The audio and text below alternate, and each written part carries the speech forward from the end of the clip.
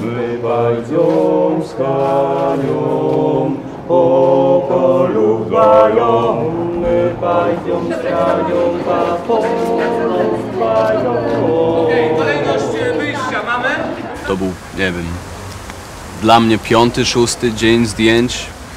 Kręciliśmy scenę wesela naszego dowódcy i, i to była właśnie bardzo przełomowa scena e, dla mnie, bo to był pierwszy raz, kiedy, kiedy poczułem się naprawdę częścią tej naszej całej grupy.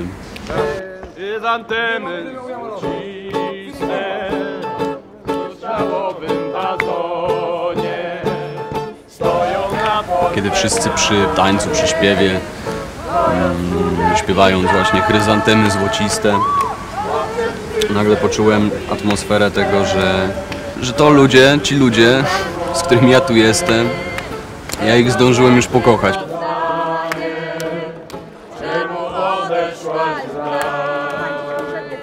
No jest to taka scena, której, której nigdy nie zapomnę. Jest wiele scen w tym filmie, których nigdy nie zapomnę. Ale tą będę na pewno wspominał jako taką jedną z najbardziej przełomowych.